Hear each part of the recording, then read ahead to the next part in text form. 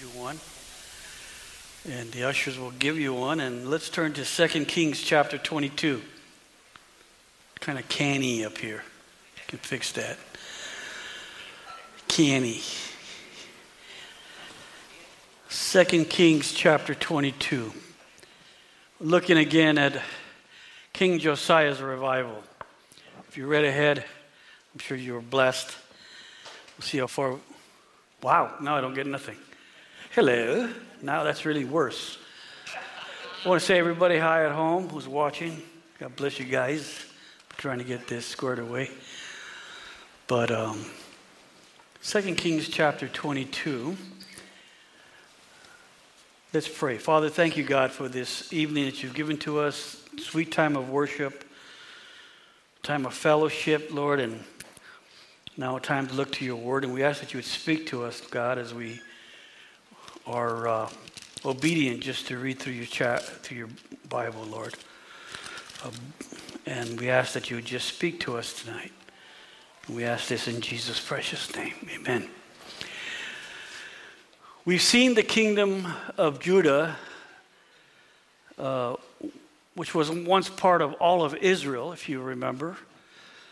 We've seen the kingdoms separate. We've seen the northern kingdom and the southern kingdom, and that's what we're speaking of today, of the southern kingdom. Right now, the northern kingdom are in, being occupied by Assyria.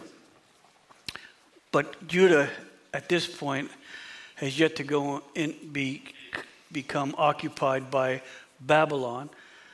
But prior to that, we've been studying the kings of the south. That's right. And we've seen this kingdom, I mean, it was ruled by some good kings, right?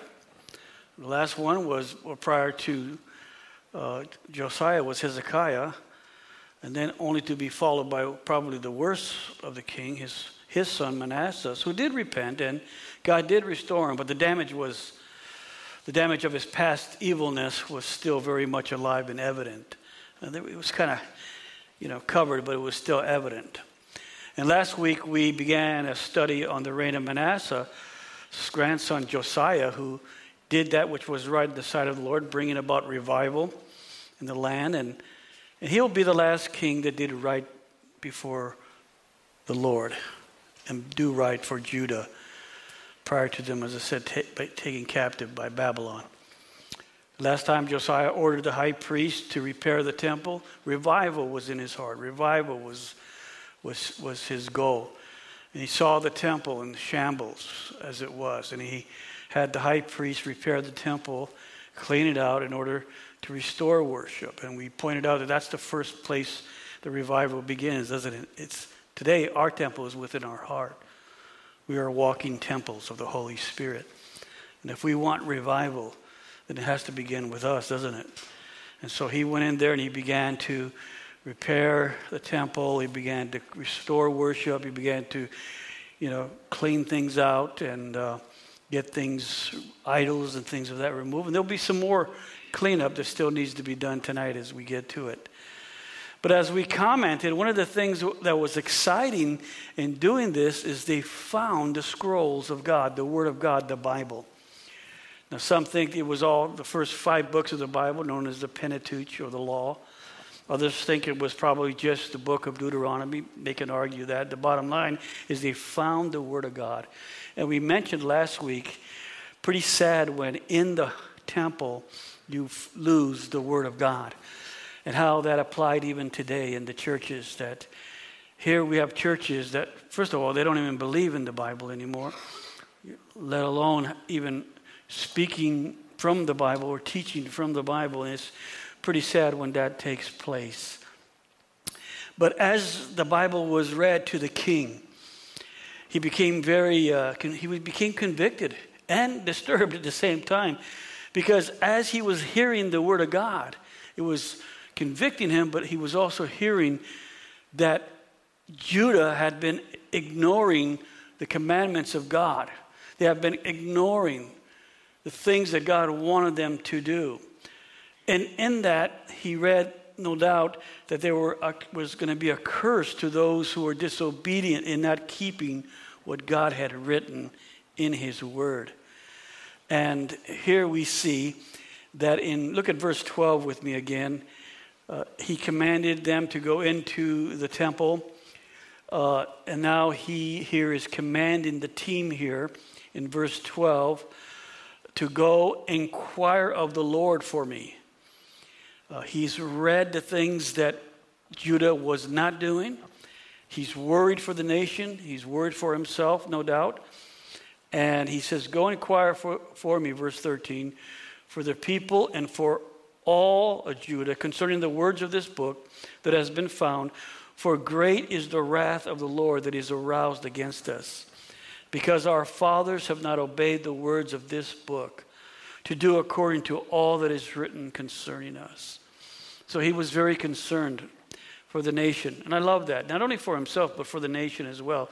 He took on the responsibility. He's the king, he's the leader. And he wants to lead them into a revival and bring back worship and do the right thing. Deeply moved, he asked the team, Go inquire of the Lord concerning Judah's condition. Where would they go inquire? Well, they would go to the prophets. And that's where we pick it up in verse 14.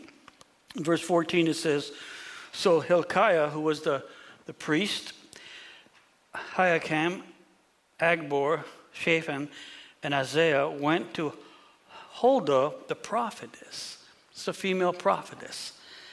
The wife of Shallum, the son of Tikvah, the son of Harhas, keeper of the wardrobe. She dwelt in Jerusalem in the second quarter, and they spoke with her. And they shared with her all that was on the king's heart and all that they had read in the scroll of God, in the Word of God. Now, there are many prophetesses in the Bible uh, as you read through the scriptures. We know Miriam, who was the, the sister of Moses, is called a prophetess in Exodus 15. Deborah, you can read of her in Judges chapter 4. Huldah here, of course, uh, uh, and uh, another gal named Noadiah, if I'm saying her name right, uh, there uh, in Nehemiah 6. Um, and then you have in the New Testament, you have Anna in Luke 2. Anna as an Old Testament prophet. And then New Testament uh, prophets, uh, those who had the gift of prophecy, you can read of the four daughters of Philip in Acts chapter 21. So the gift of prophecy can be given, of course, to men or women. Today it's more forth-telling from the Word of God, being able to discern what God is saying and speak forth for today. Back in the Old Testament, it was more, for, uh, uh, was it foretelling? Foretelling and forthtelling. So interesting when you read that. So let's look at verse 15 and, and just read what she has to say. And then she said to them, Thus says the Lord God of Israel Tell the man who sent you to me, Thus says the Lord Behold, I will bring calamity on this place and on its inhabitants. All the words of the book which the king of Judah has read. Because they have forsaken me and burned incense to other gods, that they might provoke me to anger with all the works of their hands. And therefore my wrath shall be aroused against this place and shall not be quenched. Now you can just imagine the teams there listening to, oh my, oh no, man. Oh God, you know, uh, you know, this is this is what's going to happen. Well, let me tell you something, guys. God's word will stand true.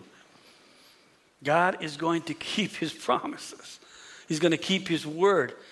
And he's going to bring judgment, as the prophet has said, on, on the nation.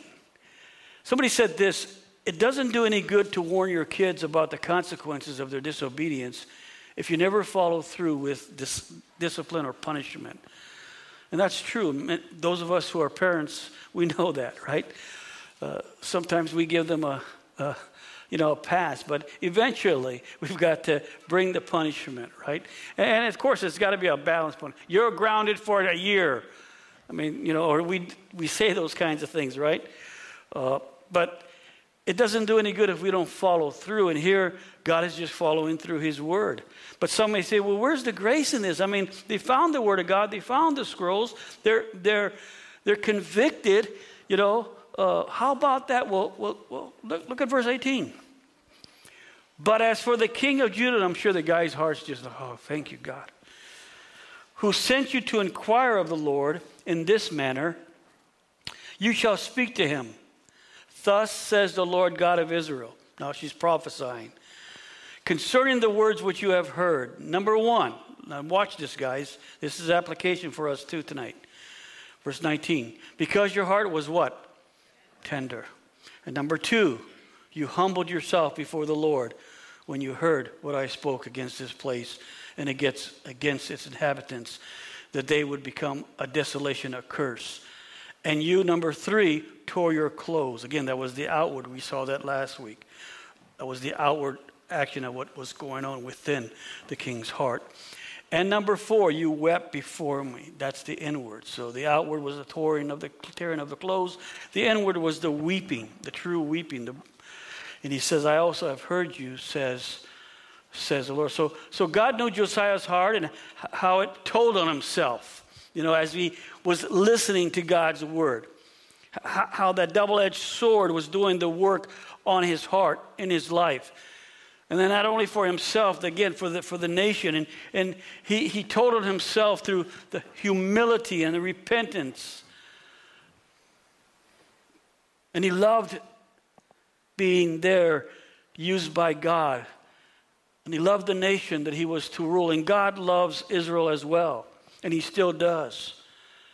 As we should be praying for Israel on a daily basis. A lot of things going on even right now. But notice again, I want to go over this as an application. Number one, his heart was tender. And as I read these things off uh, as what the Lord has spoken to me, ask yourself, is that where I'm at, God? Do you still need to tenderize my heart? Am I, am I tender? The heart of the matter is the matter of the heart. God saw his heart.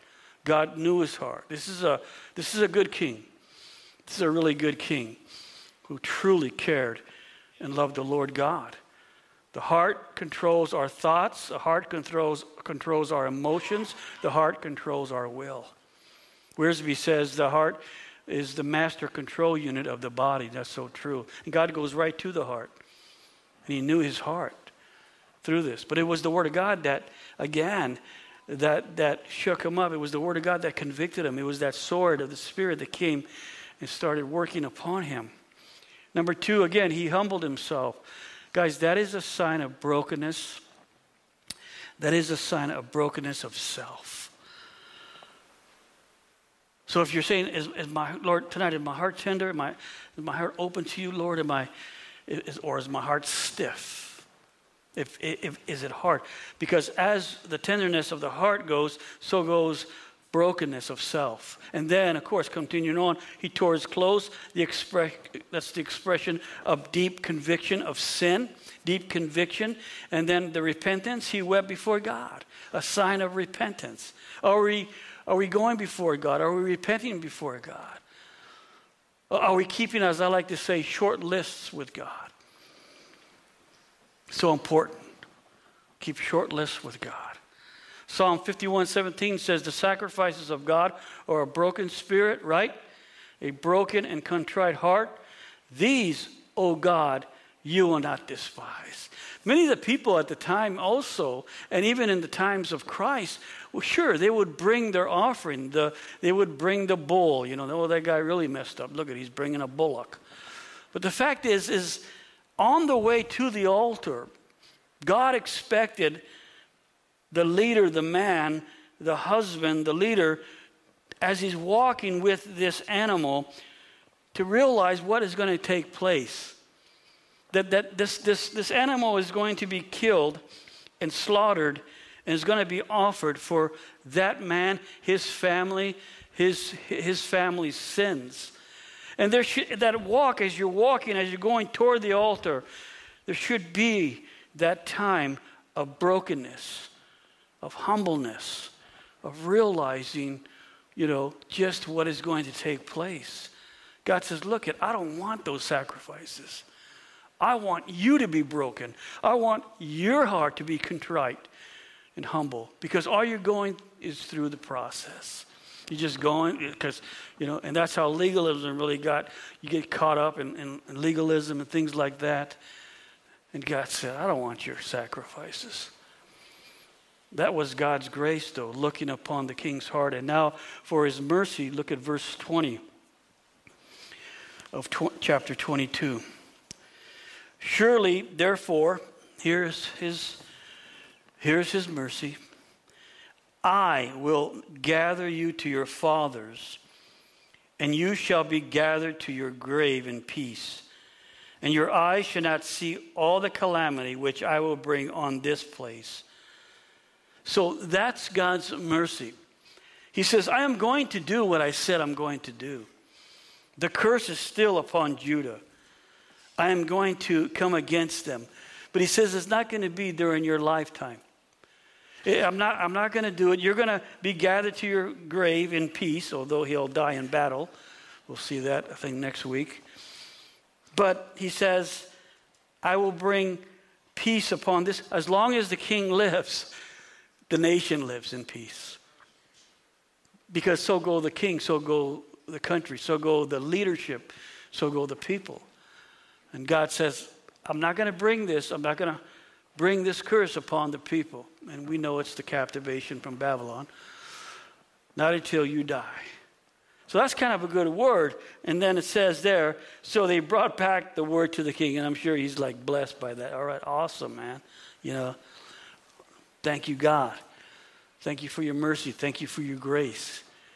Thank you for, you know, holding back on that, on that curse until you know, at least my reign. And this is what I want to do. And, and this revival is going on. But there's more to Josiah's reign and story. Looking now at chapter 23, let's continue. Verse 1. Now the king sent them to gather all the elders of Judah and Jerusalem to him. And the king went up to the house of the Lord with all the men of Judah, and with him all the inhabitants of Jerusalem, the priests and the prophets, and all the people both small and great. And he read in their hearing the words of the book of the covenant, which had been found in the house of the Lord. He's having a Bible study, man.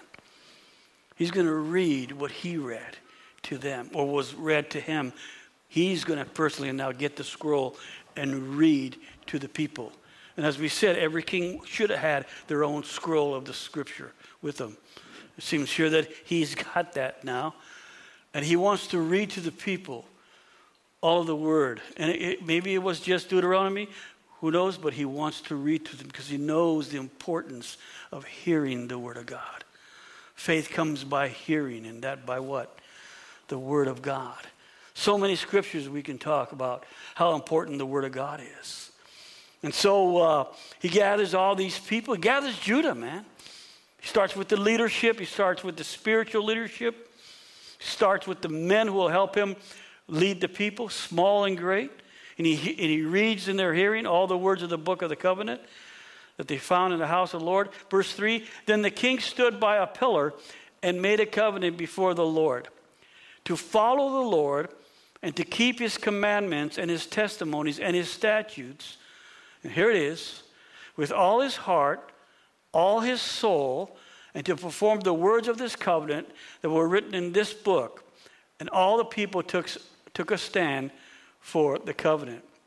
So after hearing God's word, after even reading the curse that is placed upon Judah for their backslidden, uh, you know, state, and also no doubt uh, the words that Huldah, the prophetess, had given to him, uh, here we see that he reads this, and the people, it says, stand for the covenant. They, that's their amen.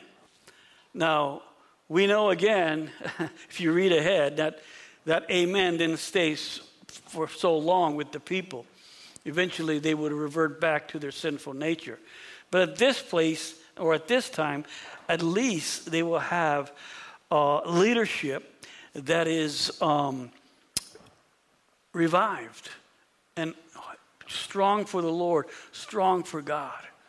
I mean, how great would that be to be in a, uh, under a nation that, that the leadership are broken before God and walking with the Lord? I mean, I love it. But at least now they have a king who reads the Word of God and reads the Word of God to them. And he's just praying and hoping that they would turn their ways. Well, at this point, they, they stand with him. They took a stand for the covenant. I mean, yeah, we will do that as well.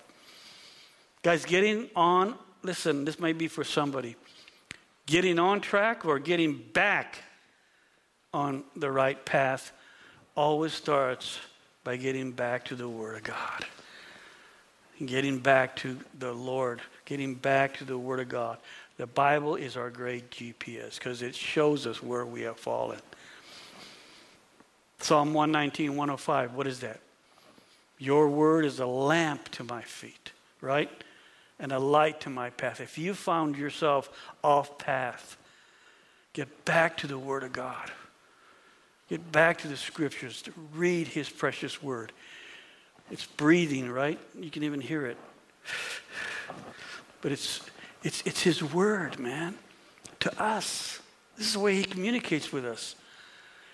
The Word of God, the Scriptures. We put it in our heart, and He speaks to us throughout the day and shows us examples and applications. I've told you that many times. You're blown away. You're just blown away. So, this is the great GPS to get ourselves back on the path, and He knew that. The King knew that. Bring me the scroll. I'm going to read it. I'm going to read it to all the nation. Imagine.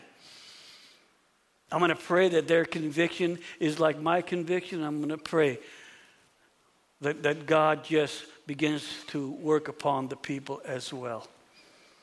But verse 3 says that the king stood by the pillar and made a covenant before the Lord. Again, number one, to follow the Lord, to keep his commandments, keep his statutes with all his heart and all his soul. And so we move on. And we'll get back to that because he's going to repeat that. The writer of Second Kings is going to repeat that. Look at verse 4 through 14. We're just going to read right through. You ready? And the king commanded Hilkiah the high priest, the priests of the second order, and the doorkeepers to bring out of the temple of the Lord all of the articles that were made for Baal. Now, I want you to see what's coming out of the, the temple of God, place where, as we said last week, God said, I will dwell. So the articles that were made for Baal, for Asherah, and for all the host of heaven, and he burned them outside of Jerusalem in the fields of Kidron, in the fields of Kidron, and carried their ashes to Bethel. Then he removed the idolatrous priests whom the kings of Judah had ordained to burn incense on the high places in the cities of Judah and in the places all around Jerusalem, and those who burned incense to Baal to the sun, to the moon, to the constellations, and to all the host of heaven. And he brought out the wooden images from the house of the Lord to the brook Kidron outside of Jerusalem and burned it at the brook Kidron uh, and the ground, uh, burned, burned it at the brook Kidron and ground it to ashes and threw its ashes on the graves of the common people. It's those who worship them.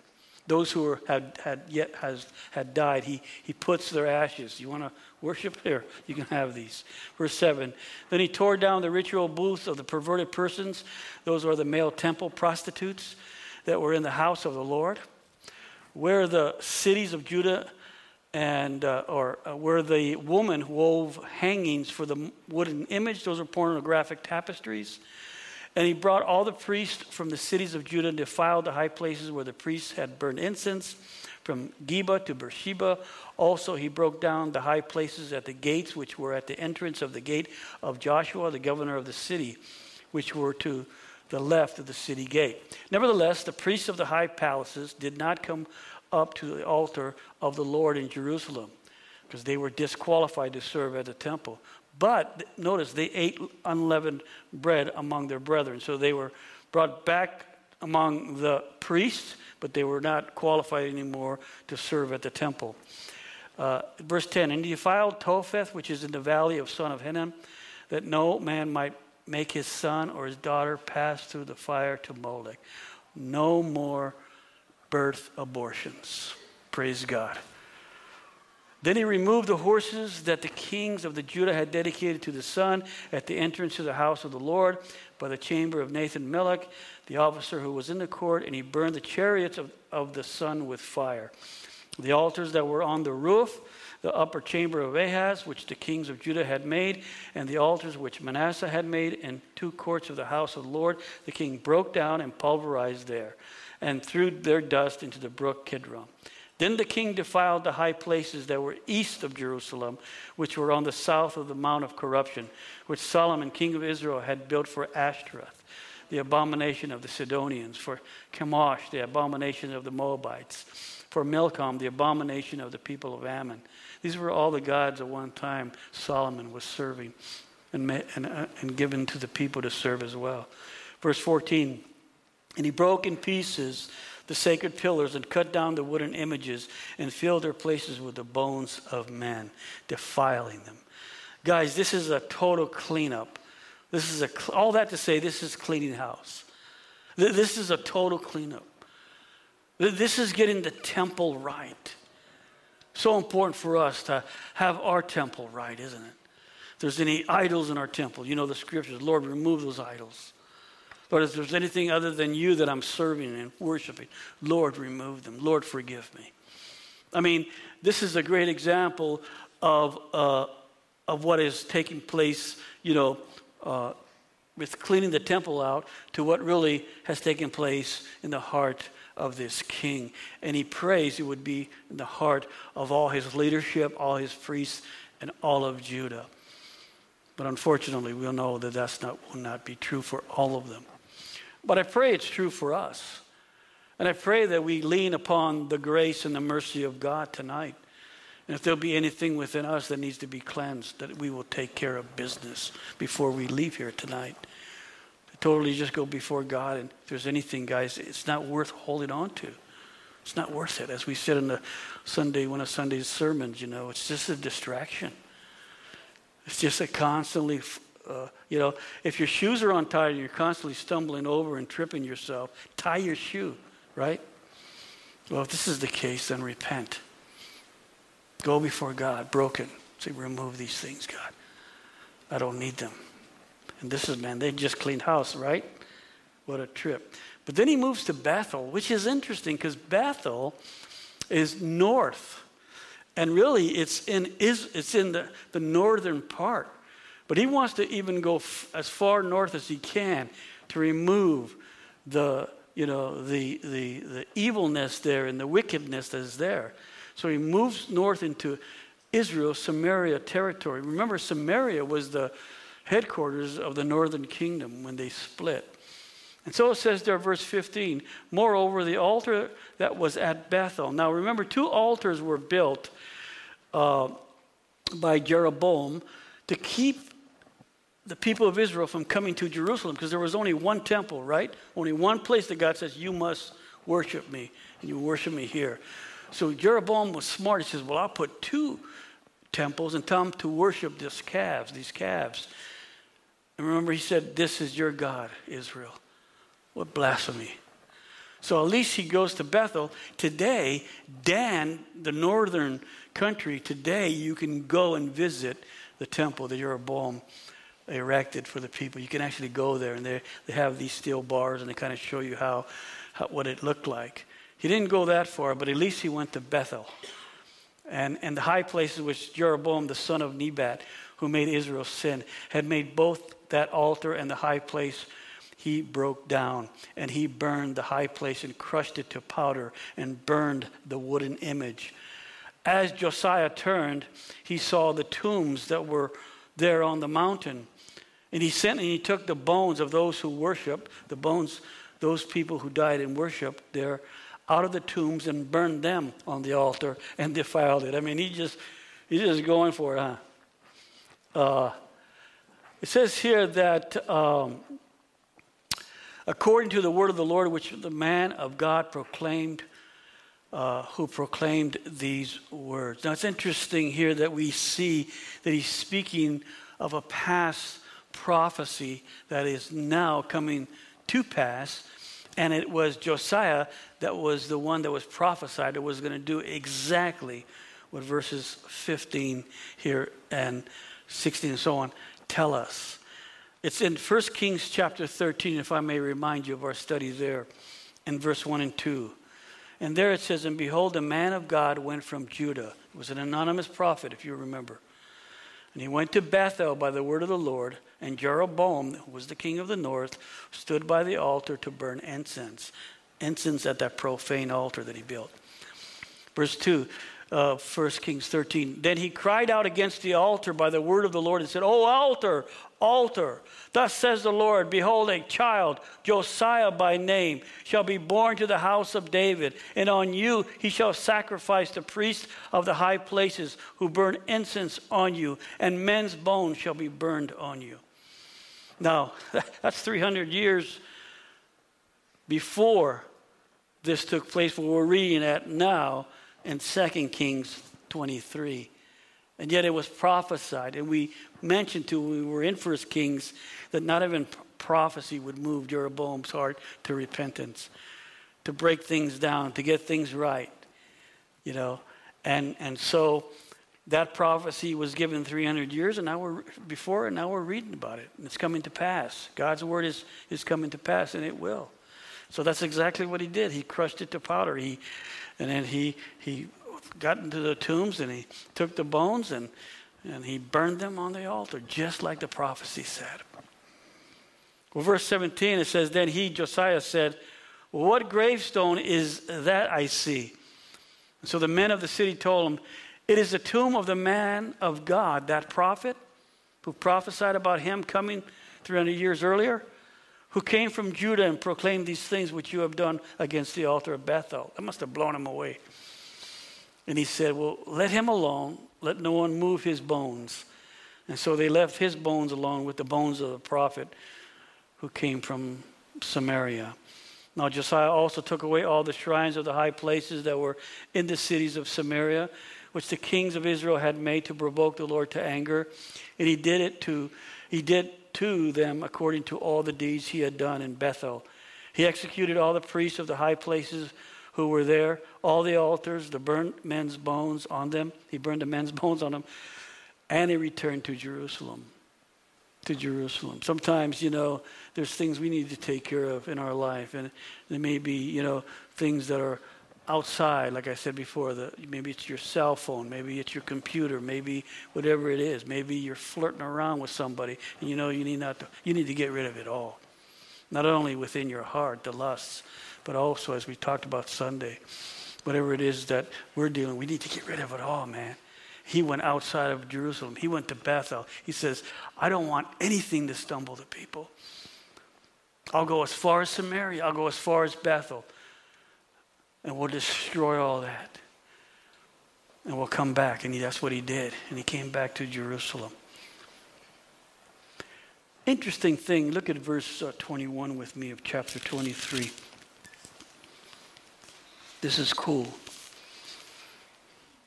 Then the king commanded all the people, saying, Keep the Passover to the Lord your God, as it is written in this book of the covenant. I love it, man. You know, Oh, no doubt on his way back to Jerusalem. He's got his scroll with him. He's just reading. Remember being born again? Remember when you first got saved, man? You couldn't put the Bible down. You, you know, they didn't have pod, well, I guess they do now, but back in the 80s, they didn't have podcasts or anything. We had cassettes. How many of you remember cassettes? And I remember when we got here in, in Virginia in 92, I had all of Chuck Smith's cassettes. And I had to drive from Fredericksburg to Andrews Air Force Base every day. I'll tell you, it's 65 miles one way. 100, 100 was 130 miles round trip. On the 95, 95 wasn't as bad, but they had that mixing bowl that they, that one day they were going to get finished, which it's finally finished, but it's not working. But anyway, so man, I just tape after tape. After, that was my seminary, guys just listening to Chuck. And after Chuck, Jack Hibbs. I had a whole, whole, the whole Bible by Jack Hibbs on cassette, tape after tape, just listening. I, I just wanted the Word. I just wanted to continue being the Word, you know, and just, just excited. So, you know, this is me. I probably think that as he's coming back to Jerusalem, he's reading his scroll. Oh man, that's another thing we forgot to do. How could we forget the Passover? How quickly people forgot. And so, he says, again, keep the Passover to the Lord your God as it is written in this book.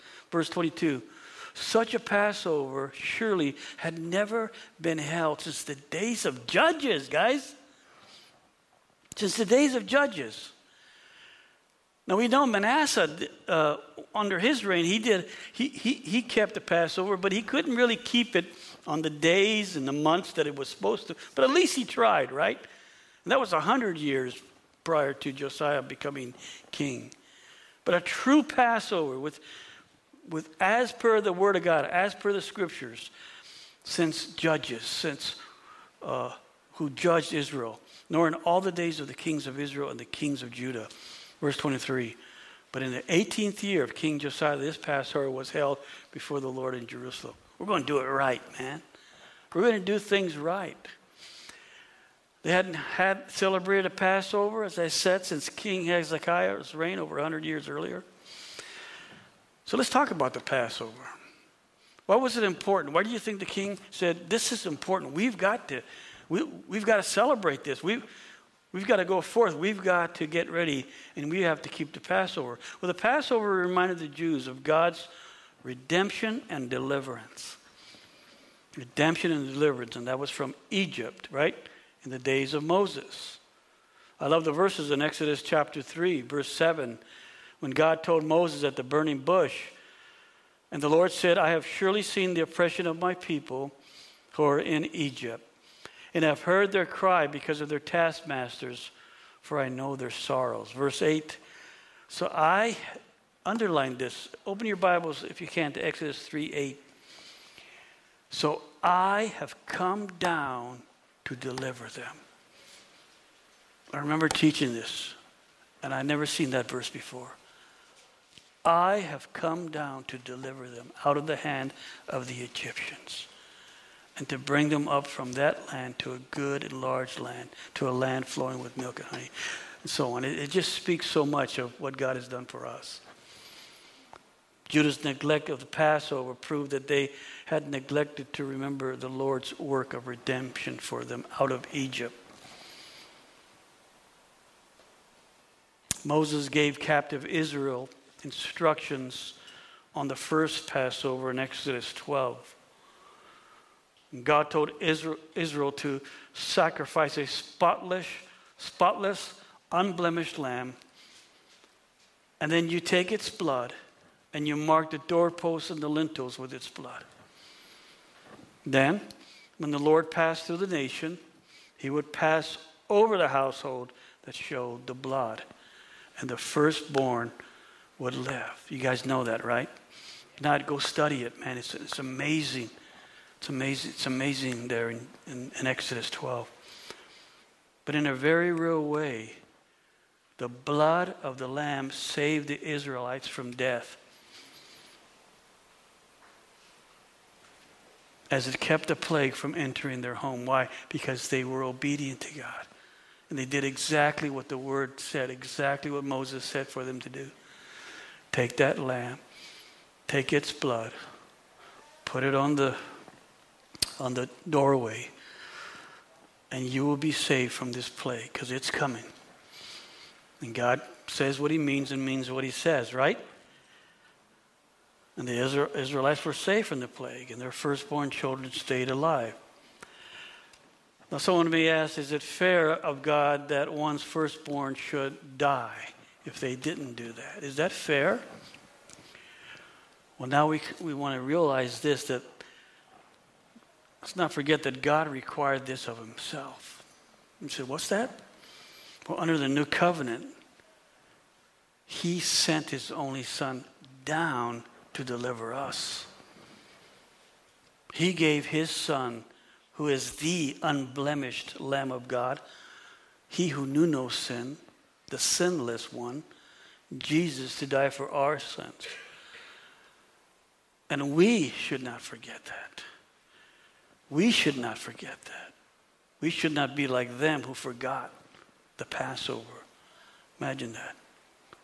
See, Jesus' blood was spilt on two wooden beams, and like the doorposts and the lintels or the support beams that they were to put the blood upon, we call it a cross. And that cross redeemed us from the plague. The plague is what?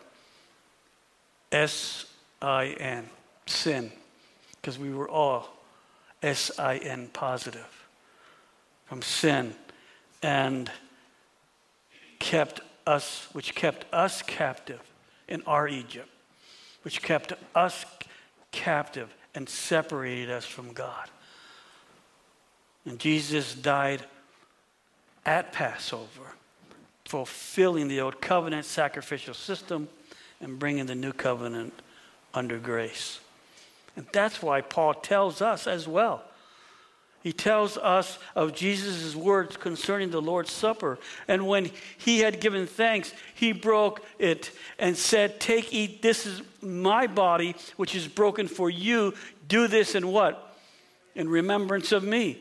This cup is the new covenant in my blood. This do as often as you drink it in remembrance of me. For as often as you eat this bread and drink this cup, you proclaim the Lord's death till he comes. We have to be reminded at communion of what Christ has done for us. It breaks us, it humbles us if we're truly understanding communion, understanding the Lord's Supper.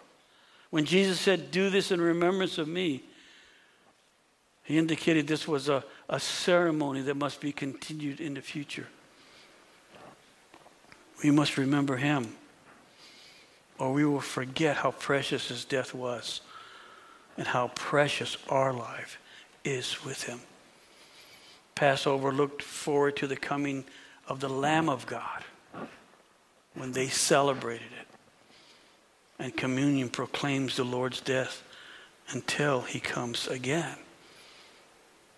And he will come again because he has promised us. Let's wrap it up there in verse 24 and 25. Verse 24 says, Moreover, Josiah put away those who consulted mediums and spiritists, uh, the household gods and the idols, all the abominations that were seen in the land of Judah and in Jerusalem, that he might perform the words of the law which were written in the book uh, that Hilkiah the priest found in the house of the Lord. And now before him there was no king like him who turned to the Lord with all his heart, with all his soul, with all his might, according to the law of Moses, nor after him did any arise like him. That's awesome. The author of Second Kings describes Josiah by referencing Deuteronomy 6, 4, and 5. Hear, O Israel, the Lord our God, the Lord is one. And you shall love the Lord your God with all your heart, with all your soul, and with all your strength. No doubt, reading that and realizing that's who I want to be. Lord, that's, that's, that's what, who I want to be, God. I want to love you, God, with all my heart, soul, and my strength. And, and that continues on even into the Gospels, even into the New Testament. There in the Gospels of Matthew, Mark, and Luke, they reference Deuteronomy 6, 4, and 5 for us. We, we should desire to love the Lord our God with all our heart, all our soul, and all our strength. And you know what that speaks of? A relationship. When you have a relationship, you're giving your all, uh, well, you should be. How much more to God? How much more to the Lord? And as that proves out and as that shows, that fruit begins to, you begin to bear that fruit, man. I'm telling you, it's so awesome. No, we're not perfect, and that's why we can go and repent. And, but that's what he desires of us to love him that way and to remember him, to remember all that he's done. Let's pray. So, Father, thank you, God, for this time in your word, Lord, and, and the opportunity of of reading God and, and studying and understanding. I pray you go beyond my notes, God, that you've spoken to us individually, congregationally, Lord, that as we always ask. And, and we pray, God, We pray that we'd leave here different than the way we came, Lord. Lord, just knowing more and understanding more, God. You know us, Lord. You know, you know every one of us. You know every intricate part of our heart. You know everything that we've done, God. And that's good, Lord. And we want you to keep knowing us that way, Lord. And keep helping us and guiding us. And that's it in Jesus' name. Amen.